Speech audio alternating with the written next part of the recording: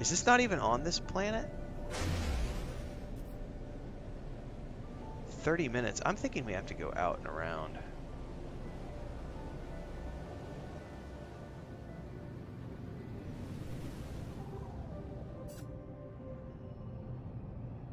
Yeah, for sure. It was somewhere else. Uh, you think we're gearing up for another Boba Fett appearance in Outlaws? Um, I mean, possibly. Given that he was in Survivor, yeah. That was a nice bonus to see him in, in Survivor. The way that sequence plays out, too, when you first meet him is pretty cool.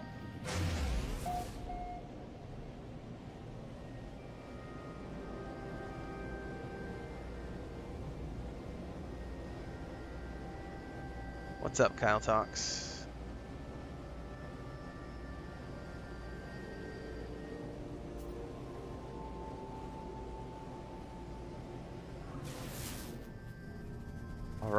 This is the actual monument, it looks like.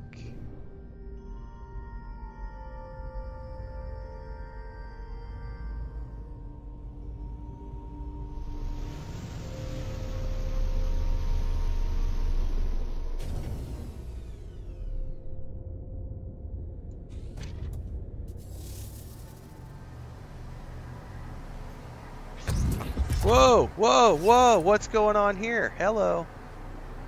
I was not expecting that.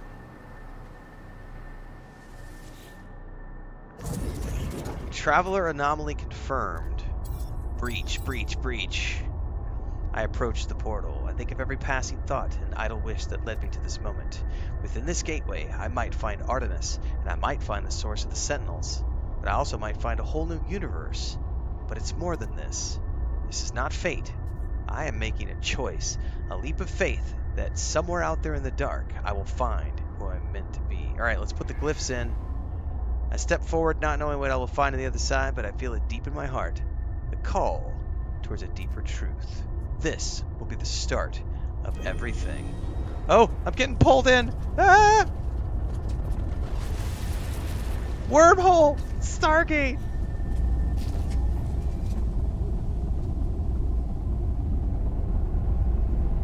Oh, that was a really cool wormhole, like Stargate wormhole, guys. Here we go. Oh! I feel tingly all over.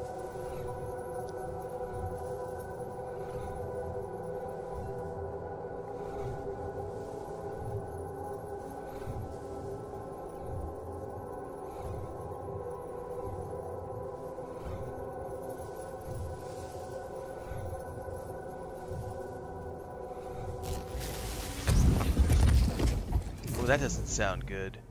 Holy shit, where am I now? This looks completely different. Warning. Hostile system. That's not good. Quick! Oh no! It's closed!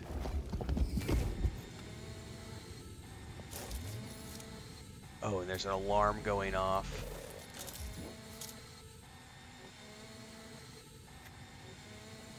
That is not good. Oh man, and I don't have my ship or anything. Atlas Protocol initiated 1616. These are the numbers that we saw. Oh, I'm so screwed. Uh-oh. Uh-oh.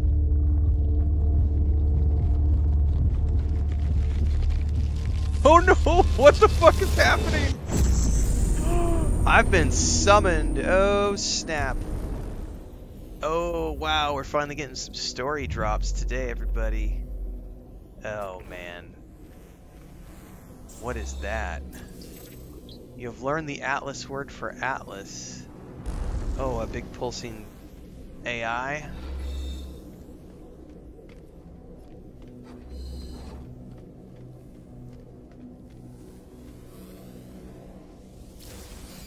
Warp cell. Cell times two. That thing does not look friendly. The text blinks before me. It awaits input. Say hello. Hello, world. An audio recording plays, echoing out across the vast interface. We were once travelers. We once aspired to more than dirt and dust. The audio clicks. Time passes. Show me a world, Atlas. Show me something no one has ever seen before. The voice ends. The interface grows still and silent. It awaits a command. Let's perform a diagnostic. It has been a shitload of years since the last diagnostic. 64% of worlds operating within expected parameters.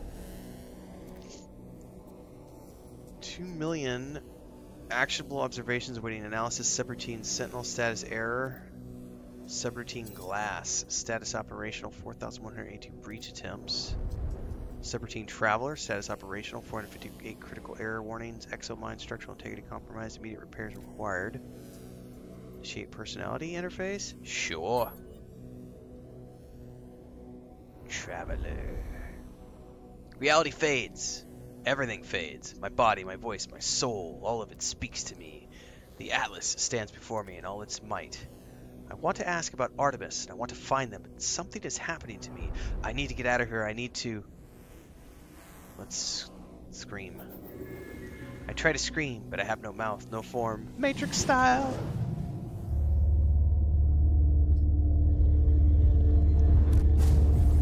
Oh, I'm being booted out. Intruder!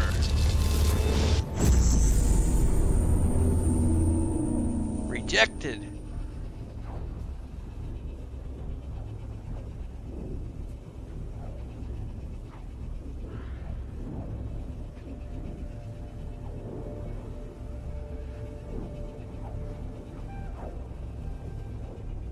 Oh, I have a great comment off of YouTube I'm going to read here in a minute. Kukum, first contact. Did I just uncover a brand new atmosphere, a brand new place? Oh, I don't even know what kind of planet this is. So I've been booted out somewhere. I need to locate and board my ship. Oh, I'm hearing voices, man.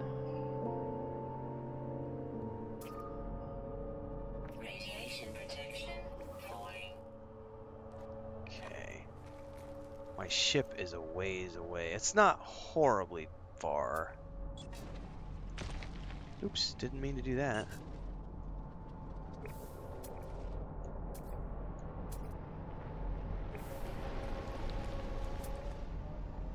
Why can't I market my ship?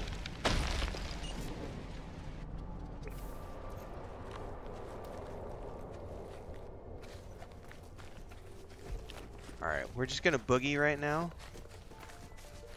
I am first contact on wherever it is that I'm at. Oh, look at the sky here.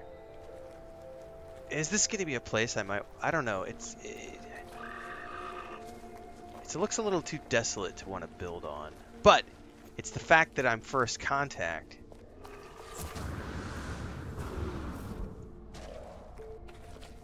Once I get to my ship, the safety of my ship, we'll dive into that comment on my phone.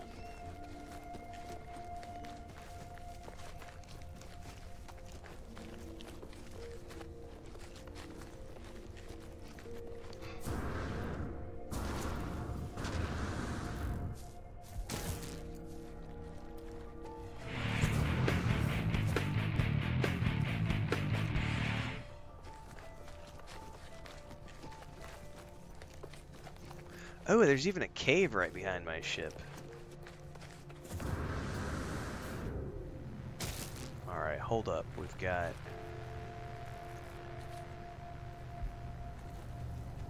Something here. We've got all sorts of stuff. Let's check this out.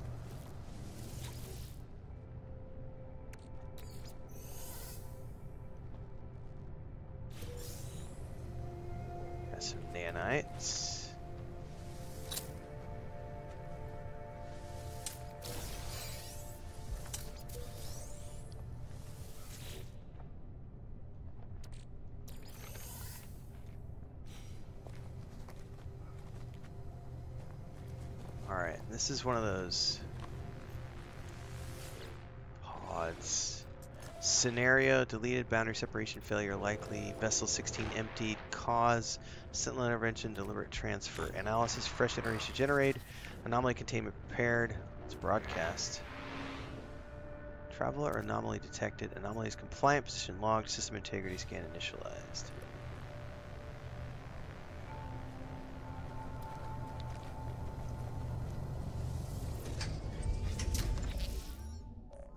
Launch thrusters are critically damaged, and I'm going to have to um,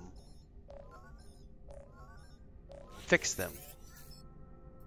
I escaped to my ship, glad of something familiar in this strange world. Where has the portal taken me? I was caught in the gravity of that infernal machine, not strong enough to resist. It identified itself as Atlas, the entity so many worship and fear. I saw no sign of Artemis, no sign of the Sentinels. Why did I even step into that gateway? Why did I follow this path? Uh, to rescue Artemis. Is that true, or is it just a lie I tell myself? Artemis was in need of assistance, but did I really risk my life just for them? There's something more, something else, another yearning. As I stare at the console, an opportunity presents itself once more. There's an inbound transmission emerging from a location on this very planet. You are not alone. Could it be them? Did Artemis meet the Atlas as I have? Alright. Well, we have some stuff to do here, but I do want to answer this. I want to answer this comment over on uh, YouTube because it's the perfect example of what we were talking about earlier about the perceptions that people bring with them to the conversation. Um, and this is in regards to Star Wars Outlaws because we did uh, the reaction video today. Star Wars Outlaws feels like Red Dead Redemption in space. This is a fun one for me because I actually did this a couple of weeks ago. Star Wars looks like my Red Dead Redemption 2 in space, and then GamesRadar just published an article, or a video, I should say, with an interview that talks about how they also feel like it's going to be like Red Dead Redemption. So, um, did all of that, and um, Forzone, yeah, just wrote this comment on on the video and said, "I just saw another video of another YouTuber who was at the previews of the game, and he said he was going through a rough day, but this game lifted his spirits." And that video alone is all I needed to hear, and it's enough to sell me on this game. I'm tired of the hate. I'm tired of the controversy. I want to play the game. Let the game play. Uh, let's play the game first, and then talk about the game, um, which is a great point to have. Then underneath that comment, for those of you who want to go read, or those of you who might want to respond to this comment, to those of you who actually want to have a conversation with people about stuff like this, um, uh, and then, hang on, I'm getting. I was reading something. Hang on. So MetalVox89 responded and said, agreed. He says, I just watched a video where a guy said, when I think of Star Wars and open world in the same sentence, I expect space travel. The, the writer of this comment said, I laughed at that because I felt like we were having the conversation around Starfield all over again, only this time with Star Wars Outlaws. While Starfield presented itself as a space game, it never presented itself and never claimed to be a space simulator. It was always designed as and promoted as a space RPG. It was, in other words, it was people who took it upon themselves to believe that Starfield was going to be a space simulator. It was never promoted as such. This person goes on to write I understand some of the frustrations that people have had, but the game was basically what I expected, minus all the menu navigation. I think a lot of us have, you know, legitimate criticisms about too many menus in Starfield. Goes on to write When you watch Star Wars, you do see space battles and space travel, but most of the times the story is taking place inside of a ship and mostly on planets. Very good point. Says while I was indifferent about this game initially, I have now been becoming become increasingly more interested in it based upon the footage that they've been seeing. This is a great comment because it points to the exact thing we were just talking about regarding Starfield earlier in the in the stream today, which is people who choose to interpret what they want. We were talking about the space travel, and this is this is what this comment is referring to as well, because um, that's one of the points I brought up in that video is how many, how a lot of people were, you know, thought they were going to get open-ended because they thought they were getting a space simulator, and at no point in time has Star Wars Outlaws ever been promoted as a space simulator. It's never been promoted as a space sim. It's been promoted as the first open world Star Wars RPG. That's it. That's the tagline. Open world Star Wars RPG. Not open world Star Wars space sim. Not open world Star Wars space exploration sim. Not Star Wars base building sim. Star Wars open world RPG. So it's uh, it's very very interesting. Um, Dennis says we're having a human experience in gaming technology medium. Yeah, a little bit. Um, Turbo Tommy says, "What's more space than actually trying to replicate space? You're play- you want a space game? You're playing a space game." Uh, Tim Horn says, "My first space game was Wing Commander on the Super Nintendo and the original PlayStation and Starlancer." Man, I have fond memories of like specifically Wing Commander 3 and Wing Commander 4. Um, because of the fact that they were doing such revolutionary stuff with with real actors in a digital space, like using green screens and everything back in the day. And the cast was amazing: Malcolm McDowell, Mark Hamill, um, Jonathan Rhys Davies. Uh, I can't even remember all the people that were in Wing Commander 3 and then 4. And then when I went to Freelancer later, you know, Freelancer was going back to, you know, no voiceovers, no actors, just text, but really a super deep, rich system of space exploration and being a freelancer in space with a ship. Um, those were great games. Um, anyway, um, I thought that comment was really interesting to read through because I felt it was relevant to the conversation we were having earlier about um, about how way too many people looked at Starfield and they made up in their mind what they thought it was going to be. And we see the same thing happening with Star Wars Outlaws. Just a whole bunch of people were out there thinking that they were getting Star Wars, the space sim, and they kind of forgot that it's never been promoted as a space sim. It's always been promoted as an open world RPG, first and foremost. Um,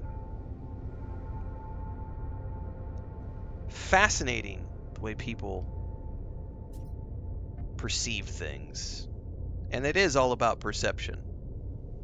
There is no manipulation going on. There's no a company promising something and then taking it away or not delivering it, which definitely happened with this game to a small degree in the beginning as well because you had a lot of people who looked at No Man's Sky and they listened to the things that were being said during interviews and they kind of blew a whole bunch of stuff completely out of proportion. Um, and then when No Man's Sky launched, they were like, "You lied!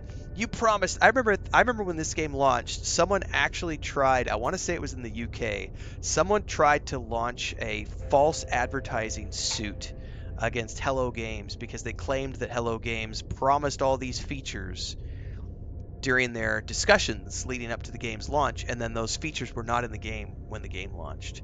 And it's like, so we're not allowed, you know, as a game dev, I could say, so we're not allowed to talk about our vision for the game. Like, if I'm talking about the vision for the game, it doesn't necessarily mean all of those things are going to be in the game at the launch. I'm talking about the big picture, the 10 year plan. But the problem is if you don't specifically state that you're talking about the 10 year plan, people will read into that and they'll think that you're promising a launch feature, which is a super tricky thing to navigate when you're in game dev. Um, so I feel for I feel for people who are in the game development side of things because sometimes customers have unrealistic unrealistic expectations.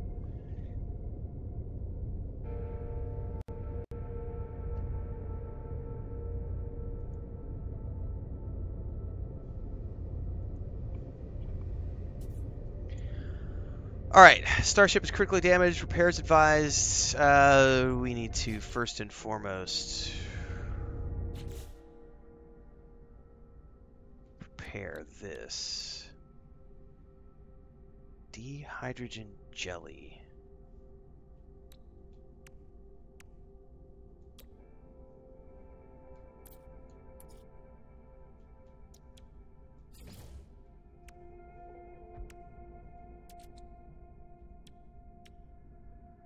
Pure ferrite.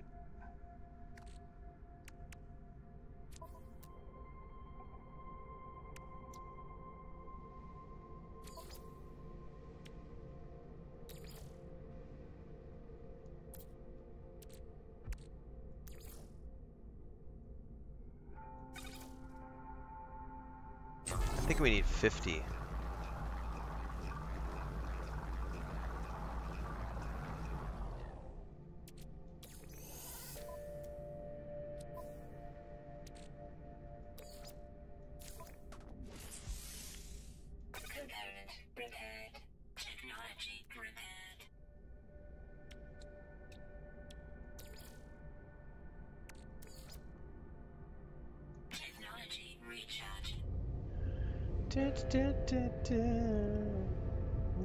Alright, Starship received mysterious signal echo. Look at the source of the mysterious distress signal.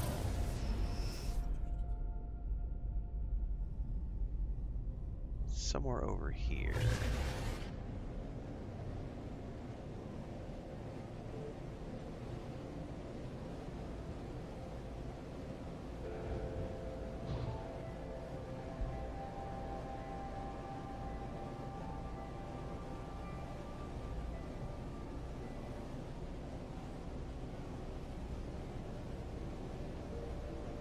Oh, what is this over here?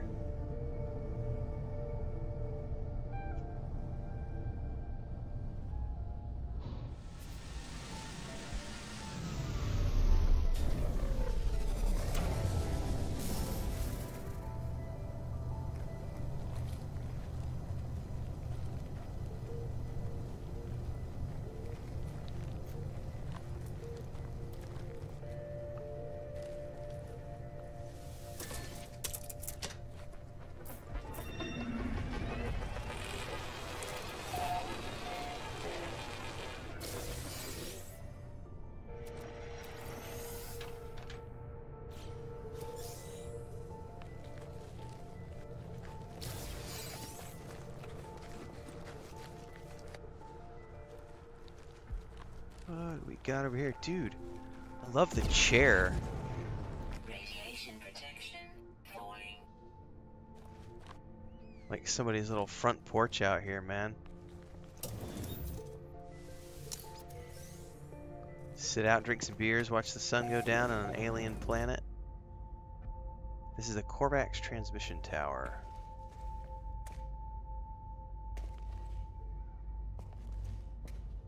Encrypted navigation data? I'll take that.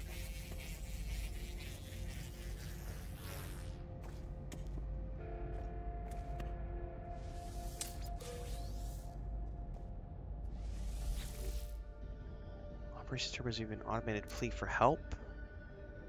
White noise hissing from the screen. Uh.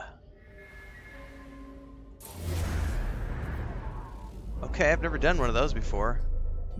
Distress signal discovered.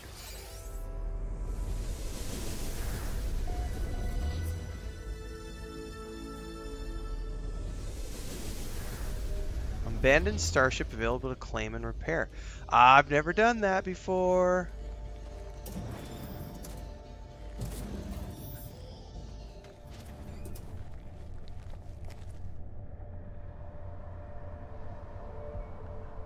I've never tried to go find a ship to repair it. We're totally going to get sidetracked right now, everybody. Did that log? So I can track that as like my primary?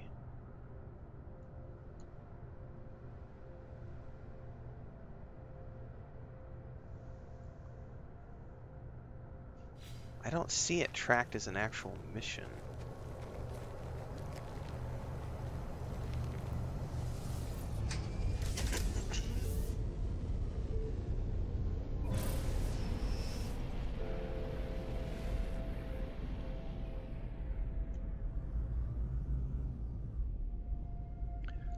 To tag.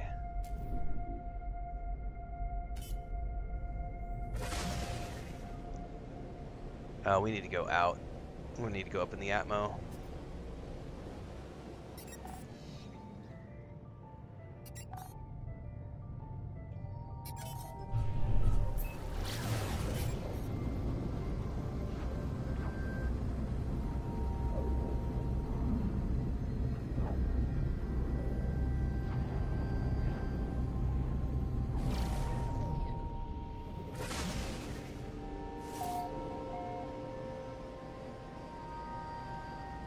Please be a cool looking ship.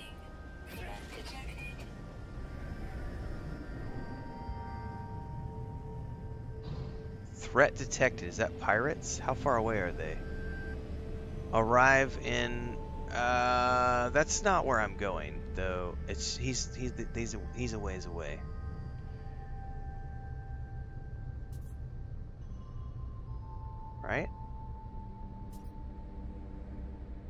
They're somewhere different and distant. This is some sort of a broken down ship that I can potentially repair.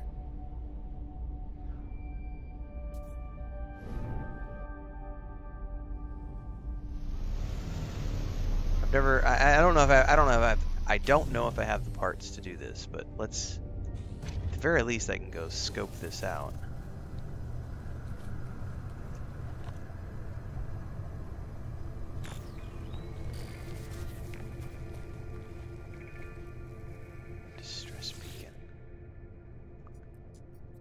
Hologram appears before me. The lights in the mask it wears seem wide and dim. The calmly pilot calmly reports news of its imminent demise. Search for functional technology. I can now construct one of these things.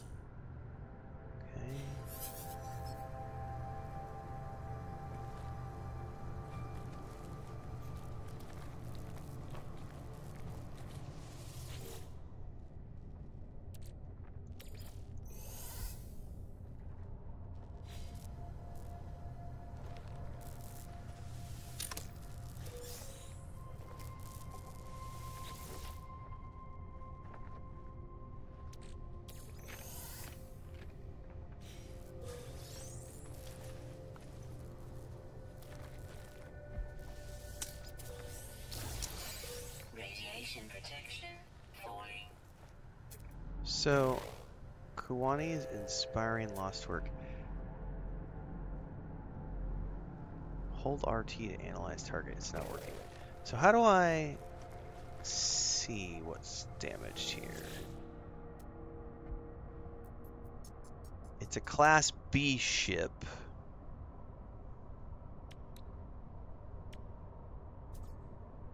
I would need to repair its pulse engines and its launch thrusters, right? But it's got all sorts of things that could be repaired. Uh, Numenal says you can repair boosters and thrusters to get it off the ground. What happens if I take off in this? What happens to my existing ship? Does it automatically return back to my freighter? How does that work?